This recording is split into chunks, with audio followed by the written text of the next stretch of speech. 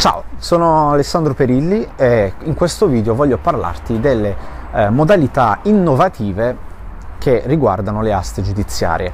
Una delle modalità innovative molto interessanti riguarda la possibilità di partecipare alle aste giudiziarie ma, eh, direttamente da casa.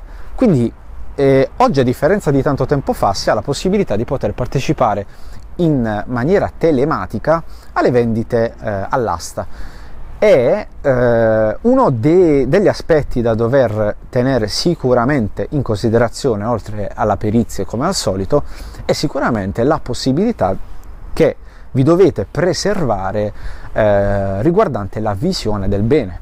Perché se non avete la possibilità di eh, visionare il bene, quindi vi viene per, per, qualsiasi ragione preclusa questa possibilità, io eviterei assolutamente a priori di partecipare alla, alla gara. Eh, per quanto riguarda le aste telematiche, bisogna avere delle competenze come per quanto riguarda le aste, solo che in questo caso ci sono ovviamente delle varianti e eh, bisogna tenere presente quali sono queste varianti e come comportarsi. Ad esempio, le, le tre varianti di cui vi parlo sono eh, la vendita telematica eh, sincrona, la vendita telematica eh, sincrona mista e poi la vendita telematica eh, asincrona.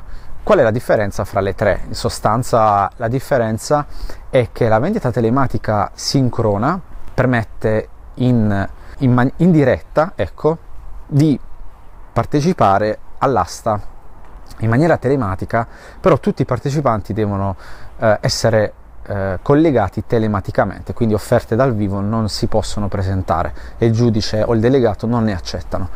E quindi bisogna capire come eh, bisogna registrarsi, bisogna presentare tutte le offerte in maniera corretta, nei tempi e nelle modalità giuste.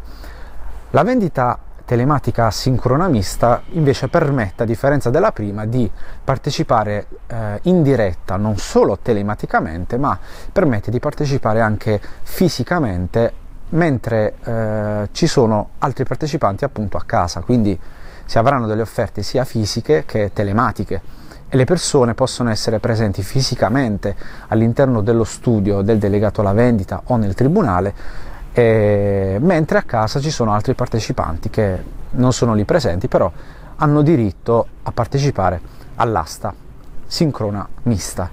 Poi c'è l'ultima, che è invece quella asincrona, che viene utilizzata nelle vendite immobiliari senza incanto e per la stragrande, stragrande viene utilizzata anche per le vendite, soprattutto per le vendite eh, mobiliari, quindi che sia di automobili, che sia di altri beni mobiliari, insomma.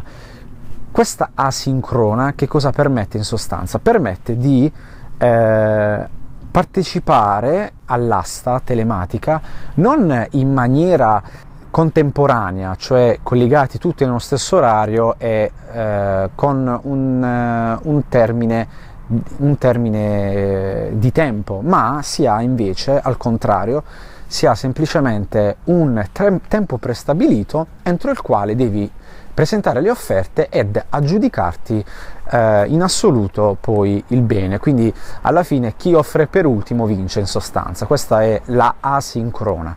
Quindi tieni presente bene le tre modalità di partecipazione all'asta telematica. Eh, la asincrona, sincrona mista e sincrona.